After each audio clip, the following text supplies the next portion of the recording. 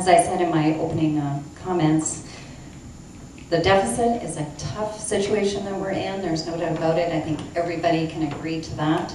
Um, I believe working with the Auditor General and having the Auditor General involved uh, is a positive step. I believe that working with all trustees and senior management, setting very clear goals, uh, com- communicating and working with our partner groups.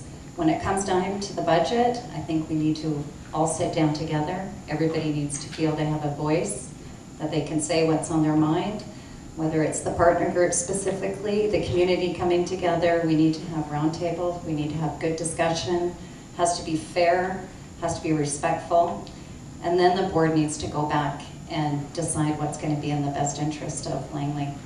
Uh, As far as uh, the cuts, being so far in debt, there has to be cuts. It's where do we make them, how do we make them? Um, And I think if we are all a part of that process, uh, it will be much easier for us to be able to accept, and we may be able to come up with some great ideas of the least amount of impact within our classrooms and with our children. So um, I would just sit and be respectful and want to honor everybody who's willing to come to the table and have some ideas, some, some fresh new ideas. And once again, I just think staying with the Auditor General, working on that report, I think we need to fine tune that report and set a little bit uh, more specific goals and know that we're on track and have clear guidelines uh, to work with. Um, At this point, I think that's a good way to go and have that communication open. Thank you. The key, the, the, the debt, this was a result of errors made by staff uh, and not having a system in place to deal with those errors as they came up. Uh, The money was spent on students, programs, and staff. Um, The, this- the employees who made the errors are gone. Budget has been gone through with a fine tooth comb. New processes are in place, a new secretary treasurer has been hired, an audit committee has been set up, so this won't happen again.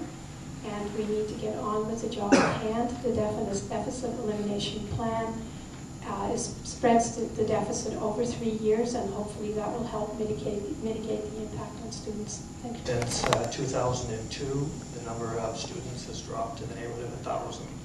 The number of teachers has basically remained the same.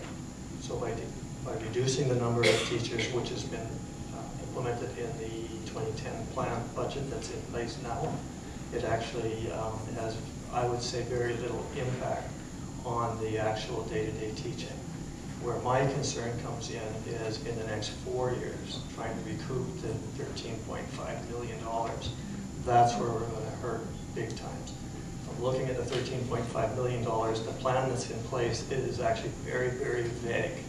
The specifics are going to come, and there's going to be a lot of pain to come from it. I believe that this should be borne by the provincial government, should not be borne by the school district, and that we should continue and fight for the funding from the government of BC for the best of our children. Um, I do have uh, concerns about um, the classroom sizes as relates to, to, to safety. Um, As, as far as, you know, there's, there's, there's teachers with the overcrowding, there's teachers in shop classes, there's teachers in, uh, uh, resource teachers that have to deal with some uh, behavioral issues that don't have the capacity to do that. And the overcrowding lends itself to uh, a potential for something really bad to happen, not only to the students, but to the